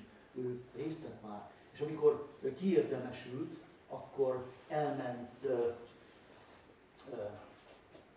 elment egy, egy kis Washington melletti falucskába, ahol alapított egy egyetemet. És ő maga ott annyit várt csak el, hogy építhessen egy házat magának. És a ház tervezésénél az André Palladio villa rotondáját vette igénybe. Bámulatos, nem tudunk erről beszélni, de a, belső szerkezet a háznak nagyon érdekes, a, a, a Jefferson a természettudományokra adta a fejét, és, és még mikor elnök volt, az akkori kommunikációs feltételek között is, de el tudtak nyitani az akkori Egyesült Államokban, nem volt az még akkor olyan nagy, hogy minden egérre, minden csontra, minden furcsa dologra szüksége van. És hozták naponta a tárgyszekerek hozzá a, a extrémebb, extrémebb dolgokat, köveket, kígyókat, mamutcsontot, mindent a világon, és ezeket így összegyűjtötte és a házban belül a szerkezet olyan volt, hogy hogyha eljutnak ide a Monticello, akkor, akkor ugye múzeum van, a Jefferson múzeuma van, a fogadószoba, ami ott a kupola alatt van, a kupola maga is ravasz, látják a tetőn, hogy meg van nyitva, tehát csillagvizsgáló ám az, meg, meg planetárium, ott eljátszunk a, a, a bolygókkal, és a közepén van egy függöny. A függöny első felén látszik egy nagy ágynak az egyik része, aminek a szívére, ha odaül, akkor fogadja a vendégeket. Ott van asztal, a kannoló oldalán van egy, egy kis ajtó, amit egy új nyomással ki lehet billenteni, benyúlni, és már is ott a viszkis üveg. Ilyen lelemények vannak benne, tehát az Andrea Palladio örve alatt ilyen leleményes dolgokat csinál. És mi van, hogyha nem jönnek vendégek, akkor a függöny mögé befordul, és az ágynak a másik fele, meg bevetetlenül, úgy, ahogy van, ott van az egerek és a csontok között, és akkor a könyvekkel körülvált, akkor ott, ott, ott alszik. Extrém a világ. Megjelennek ilyen furcsa, a modern ember számára nem igazán, igazán meghökkentő dolgok. És hát ez mondjuk ilyen furcsa vegyülékeket is létrehoz, hogy a legszebb asszonynak tekintett, ugye és Leonardo még meg, hát a nagy Csimpecentó nemzedék, ezt, ezt halálosan komolyan vette. Tehát a legszebb asszony Mária alakja. Itt a Parmigianino esetében 1528-ban vagyunk, elszólás, nagyon korán, összevegyül a Pallas Athéni alakjával. Pontosan olyan összevegyülés ez, mint amilyen Szicíliában Szirakúza városában a Szent Mária templom. A Szent Mária templom oldalába a valamikori Pallas Athéné templomának a dór oszlopai kerültek be, és ez a belső térben is látszik. Oda raktak a normandok, meg a arabok, meg a, meg a korai keresztények is sok mindent a templomba. De megőrzi a Pallas Athéné alakját Mária kultuszának a, a helye. Nagyon érdekes, és ez látszik a, a templom későbbi funkciójában, hogy megfértek valahol egymással az antikvitásnak és a, és a kereszténységnek a, a, a dolgai. És hát nyugodtan mondhatjuk azt, hogy a, a 16. század közepetáján, például Velencében, ahol a, a világi élet rendkívül intenzív, irodalmi, színházi és zenei élet rendkívül intenzív, világos lesz a képzőművészet. Akkor is, hogyha a Velencei Akadémiára készül egy festmény a Szent Márk csodatételeiről.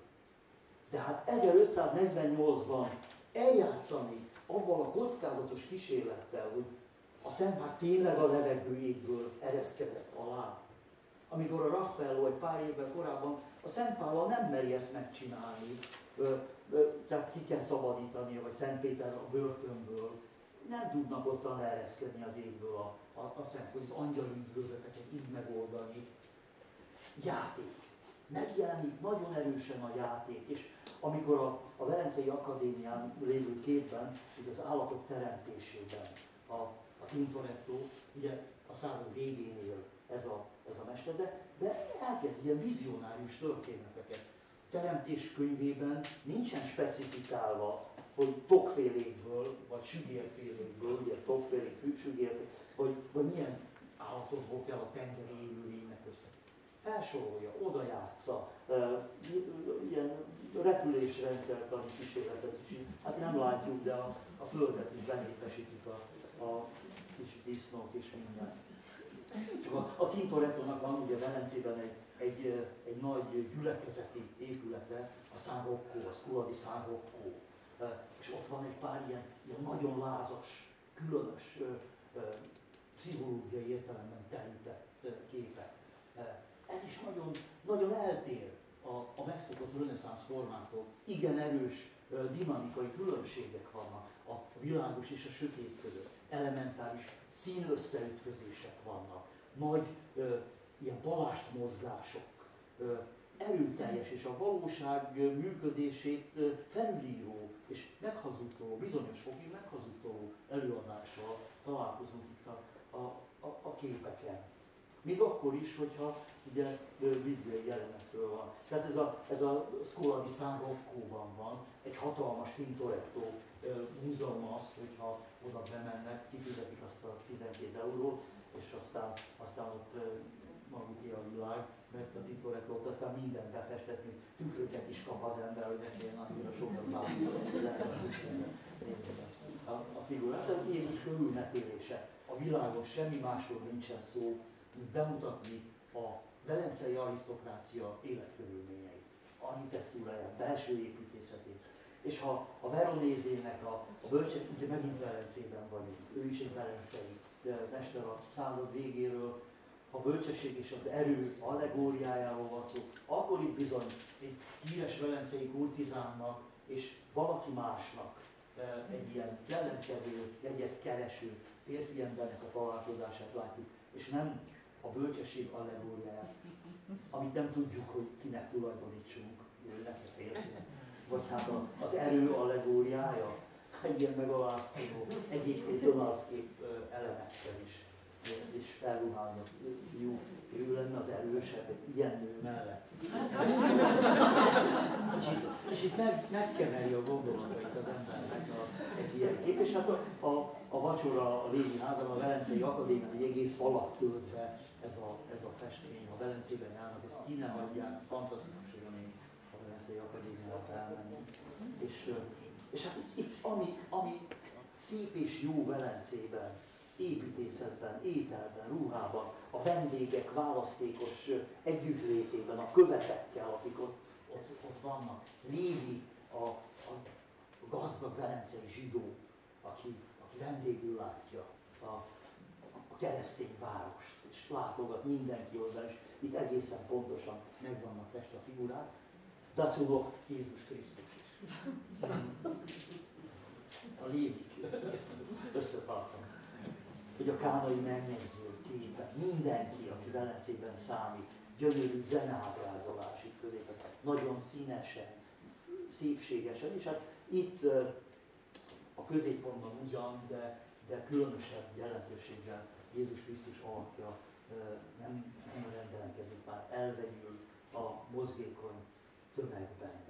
Egy-két ilyen figura teljesen életképszerű, tehát a csoportporték, az érettségi tablók, világa ez. A funkciója is ez a képeknek egyébként, és mellékesen, mert hogy a vacsorákra eljön a kardinális is, és az éppen aktuális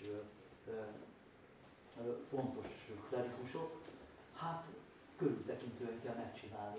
De hát egy ilyen, egy ilyen nemzetközi identitás, ami megjelenik a, a, a képben valóban. Mert Velence egy ugye a Shakespeare-től tudjuk, és a Velencei Mór történetéből is érzékeljük, hogy, hogy mennyire tele van a, a világ mindenféle kultúrájával és népével, és, és jó, tehát ezt így a Veronéze megörökíti, és gyönyörű hangszereket, a gambákat és a ruhákat, Velence mester. És hát a század végén, már a 17. századra áthúzódóan egy alapvetően Nápolyhoz kötődő mester, de Itália minden börtönét megjáró ö, ö, csalafinta, ö, ö, ilyen, ilyen Till Spiegel-szerű alak, ö, a Michelangelo Merisi, vagy művészeti Caravaggio, akiből, akiből zeneművek és filmek születnek, és könyvek és regényes életrajzok születtek meg, de valóban kitalálja az ellentéteknek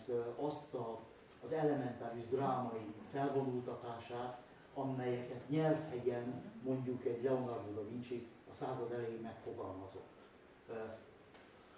Még a monokrómiá is egy kicsit emlékeztet, emlékeztet a Leonardo da Vinci, mert minden sötétben van megfogalmazva, de ettől minden nagyon element, és megint színpadszerűvé válik, rettenetesen élő, és, és, és ki nem mondott gondolatok vannak. Egy új műtípus jelenik meg, amiről az Umberto Eco egy nagyszerű könyvet írt, a Nyitott Mű című művet, amikor motivumok vannak, de nincsenek összekötve. És ez a feldolgozói kreativitást elég nagy mértékben mozgásba hozza. Nekünk kell megalkotnunk voltak éppen a képet. E, ilyen fokozott együttműködésre nézőt kevesen késztettek mint amilyen a Caravaggio művekben van.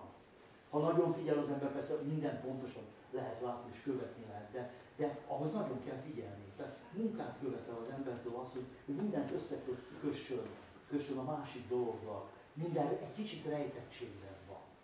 Vagy, vagy itt a, az arisztokratikus nemességnek az ábrázolása például. Michelangelo nagy ellensége volt a Sebastiano del Piombo, hogy miért lett ez ilyen nagy, Berlinben van ez a kép, korábban a Berlin Dahlemi Múzeumnak egy féltett kincse gyönyörűséges kép, egy római matróla, nem pontos ez a felvétel. De hát pontosan látják, hogy a Leonardo da Vinci féle eszmények élnek. A kéz az ugyanaz, mint a, mint a Mona Lisa keze. A figura, a tekintet, ez ábrándos, de evilági, ez nem masz, ez evilági, kicsit lelkizős, gondolkodó alak. Kicsit átment sárgába ez a kép, nagyon gazdag színekben. Sok zöld van, és a, a zöldek ezekkel a májva színekkel, amik így a inválán van, nagyon-nagyon érdekesen kapcsolódnak össze. És hát ugyanez a Sebastiano del Piombo férfival. De hát ez már ugye egy, egy, egy észak, észak-itáliai világ. A Piombónak itt van egy pár képe. Ja, és aztán, ami fontosabb, a Giulio Romano, megint a játék. Egy olyan mesterről beszélünk, aki festőként, építészként is jelentős volt, de előbb én említettem a, a, gics, a gics határa csúszást. Hát például ez a kép is az édeskészségével, a, a nagyon-nagyon könnyen eladhatósággal és a didaktikus mi voltával, a, az örömnek ebben a tökéletesen mímelt előadásmódjával furcsa pozícióba. De építészként a legravaszabb emberek egyike. Még itt van egy pár ilyen, ilyen teátrális megoldás. Ez talán sokkal inkább, inkább kézzelfoghatóvá teszi, hogy, hogy, hogy a valóság nincsen komolyan véle. Ugye hát egy ilyen, egy ilyen anatómiai talányként is ö, ö, szereplő főistennel, aki szólja a villámait, fűszálatból kötött csomó, csomó. És akkor ez a, ez a riadt, riadt személy ott a bűnt követette, nyilvánvalóan Bakkus születése, hát, szabálytalan volt a születés a mámoros helyzetben, fegyelmezetlen ember, átbüntetni kell a dolgot, és, és ugye hát itt van a, a születése, mémelések, gajdolások, hiteltelen ábrázolások, és hát nem, nem kivétel még a Szent Kép sem, a Giulio Románótól. Ő Észak-Torino környékén, északon dolgozott, és amit a, a Bronzino portrékról említettünk, a gépiesség és, és lárvaszerűség, az rá is jellemző egy kicsikét. De építészként a legnagyobb ravazdi volt, mert részint az Andrea Palladio-tól az első pillanatban elkérte a motivumát, és ő is próbálta népszerűvé tenni ezt a bizonyos alátámasztást, ezt kettős okokos alátámasztást. Ugye benne egy architráv van, ravasz a dolog, egy architráv meg egy ív. Tehát a, a görög antik építészetből a visszintes alátámasztás és a, a függőleges alátámasztás és a visszintes áthidalás, és a, a, a római építészetből pedig az ívek, és az íves, ezt, ezt a kettőt gyönyörűen összevegyítette egyébként a Palladio, szóval ez egy szép és gazdag motivum, és a, a, a Palazzo T nevezetű műintézetben vagyunk, ez egy fölülő palota, amit a várostól a kentet övező ilyen hatalmas aquaductus, római vízvezeték épület, stilizált, abszolút diszfunkcionális épület választ el, és hát így nézünk ki most a, a kertben.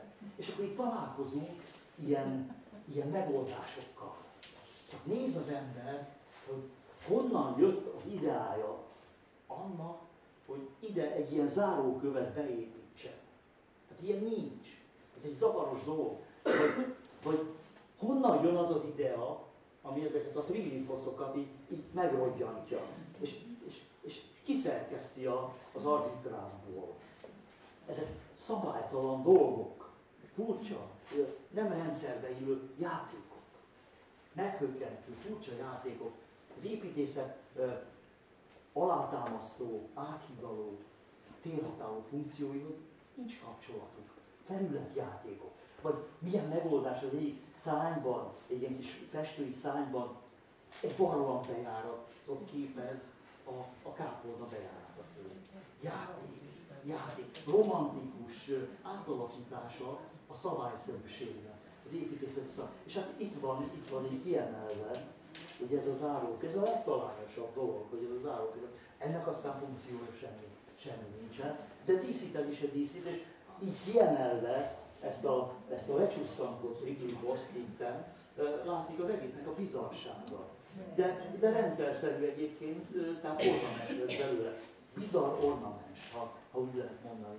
Tehát lecsúsztak a szabályosság pályáról ezek a, a mester, és hát a Giulio Romano azért festett egy, egy nagy freskót a, a központi térbe, ahol hát szerintem a, a barokot meghazudtolóan e, e, illuzionált egymás után következő tereket, még egy ejtőernyőt is alulról oda. Tehát itt, itt aztán a, a mindennapi élet jeleneteiről, ilyen gigászok görgetegei és, és az emberi bűnök ugye kiáró nagy földrengéses ítéletek, itt vannak, alul, ezek azok példaszerűek, de pontosan lehet látni, hogy a, a túlzó gesztusok, mindenütt a túlzó gesztusok, a színpadszerűség felé vitték el ezt a dolgot. A manírok, a, a modorok kezdenek uralkodni, és a, a Giulio Romano ilyen szempontból azt hiszem elég érdekes ember volt. És már is a baroknál vagyunk, ami aztán tobzódik az illúzióban és a, a ténylegesen a valóságban nem létező elemekben. Ez ugye a Vignolának a, a, a templom, az Il Gesù. Jó, hogy itt vannak ilyen alapok, ez nagyon közel van Róma központjához, a Viktor Emanuel emlékműhöz, de itt ez az, az alapok jelzik, hogy milyen óriási épületről van szó. De azt is érzékeljük, hogy milyen egyszerű ez az egész szerkezet. Az új induló Jézus társaságának legkorábbi reprezentatív épülete ez, míg a 16. század harmadik harmadában születik meg.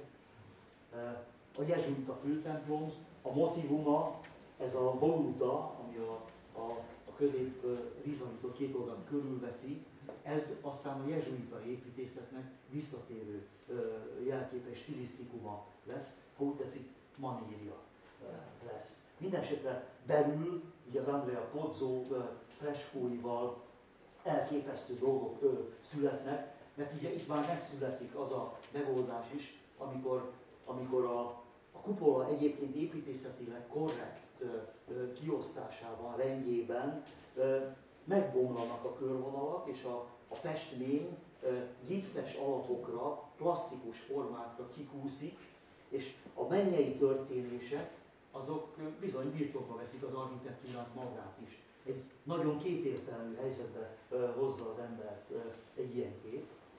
Mert hiszen valóban a felhőjég és a, a levegő alapok törvényszerűségeit látja, amint eltakarják a tényleges építészetet a, a felületen. De nagyon-nagyon különös világ, ami megjelenik. Aztán ezek a ezek az erősen illuzionisztikus megoldások már a 17. század közepetáján mindenütt általánosak lesznek, bombasztikus, igazán szimpadias, nagy hatások, és kimondjuk akkor ebben a pillanatban, hogy a díszítő kedvük miatt, a sok kagylóhé miatt, ami, ami ott van, a rokelyek miatt, meg a barokkók miatt, azt kell mondanunk rá, hogy ez egy kicsit barokkos, ez a világ összetett, bonyolult, konfliktusokkal teli, mindennek megvan a maga ellenpontja és ellentetje. Lehetőleg lineáris perspektívát ne használjuk, hanem mindenféle térbeli viszonylatot keverjünk össze. Hozzáteszem, a Michelangelo az utolsó ítélet 1536-os változatában már, már jelez ilyesmiket. Tehát olyan jelenetek vannak ott, amelyek nem egy azonos, oszthatatlan térnek a részei vagy az eseményei. Nagyon különös, eltérő léptékű dolgok jelennek meg.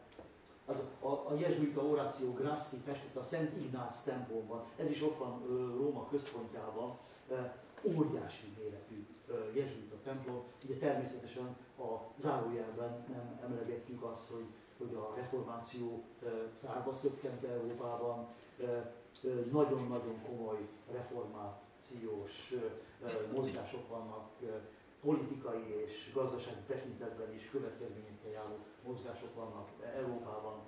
30 éves háború elindul, és, és szembertalan éjszaka, és hugenották, és minden megjelennek az európai modern politikai konfliktusoknak a, az alapvonalai Európában.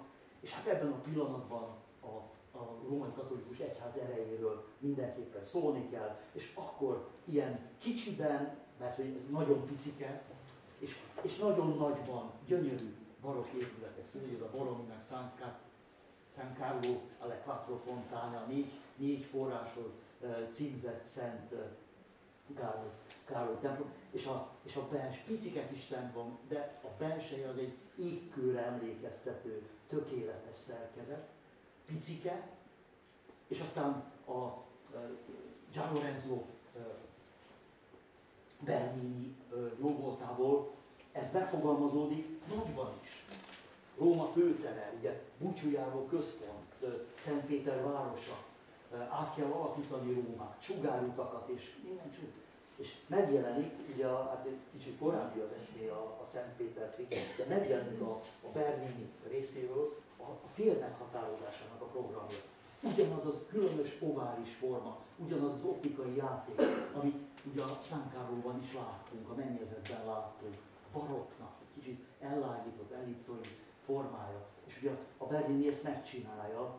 Ez még képzeletbeli portrészt a még, még a nem befejezett állapotában készítették, de a befejezett állapota, a mai állapota, ez az 1656-os Lorenzo Bernini féle Szent Péter tér, ez mindenképpen a barokk tér alakítás egyik leg, legnagyobb csodája, hiszen itt a, a térre így rávezet a Via de, de la Concellazione, a megbékélésnek a sugárútja, ami az angyalvárhoz vezet, egy óriási tengelye Rómának, ami itt kialakult, tehát városépítészeti léptékben e, e, is aktív megoldás volt.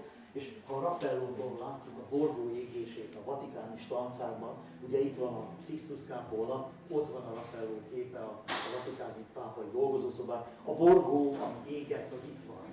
Ez a Borgó negyede a városnak. Tudtam, hogy egyszer meg fogom tudni majd mutatni.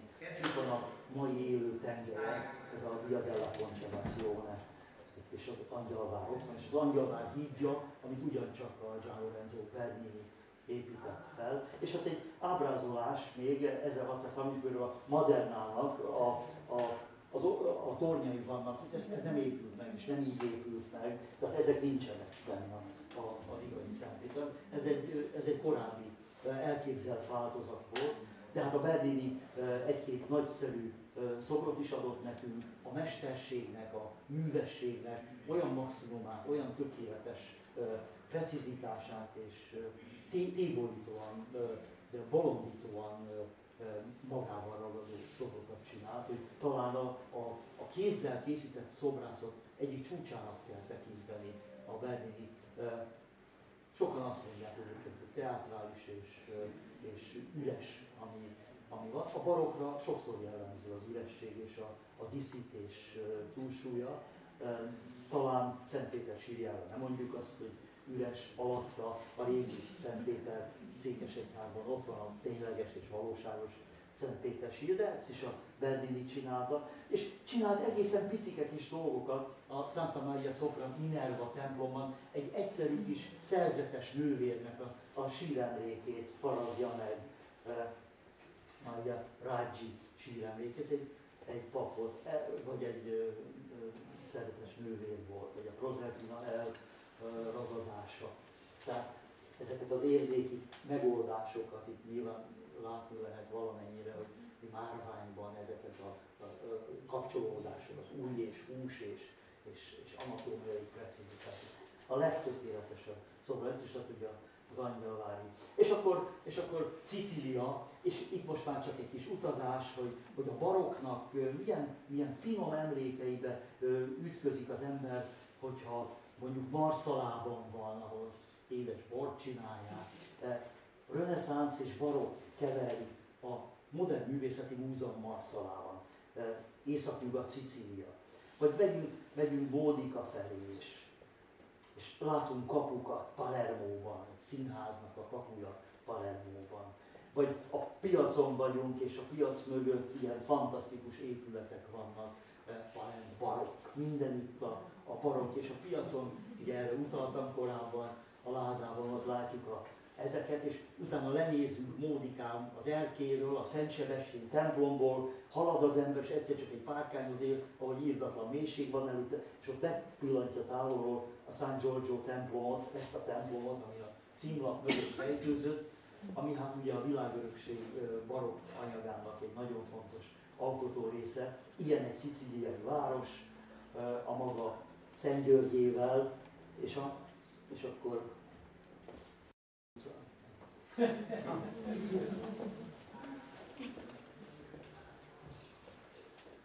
a város, és a Szent György környezete, és a Szent Györgyet kihozzák a, a, a búcsúra, és akkor búcsú cédulákat szórnak emberek. Egyébként a templomban belül tartózkodik a, a, a Szent György, varázslatos, színes világ. A baroknak olyan tobzoló és csábítóan hozzáférhető és egyszerű emberléptékű változatai, hogy igazán ez a verseny a, a, a mód. Itt született ebben a városban a Nobel-díjas Salvatore Quasimodo a, a, a költő.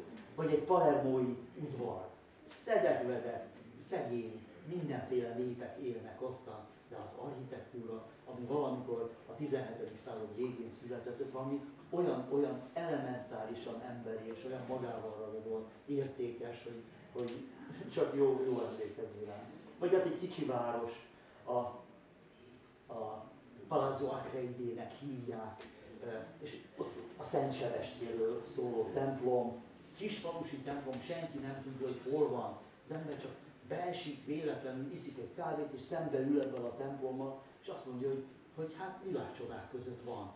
A 18. század legelején születnek meg igazi kőből faragva ilyen épületek, és, és, és ezek így vagyunk együtt. És aztán elmegy az ember a város másik felébe, és megnézi a bizánci erődöt, és a bizánci erődnek a fala mellől lenézünk, és akkor a, Jézus templomot itt látjuk, és tehát ez a, ez a, ez a barokk játék az ívekkel, a, a, a formákkal, a díszítő motivumokkal hihetetlen gazdagságban van jelen ott, 7-8 városban, e, ugye dél, dél-kelet Szicíliában, úgy is szokták mondani, hogy a barokk Szicília. Ez. Hát ma ennyit szerettem volna csak mondani, és itt megismétlődik e, lényegében az, amit a bevezetőben is említettek, csak itt e, talán pontosabban leírom, hogy miről is van szó, ha csontváriról. És akkor nagyon hálás volnék, az aláírásukkal megtisztelnének. És köszönöm szépen a figyelmet.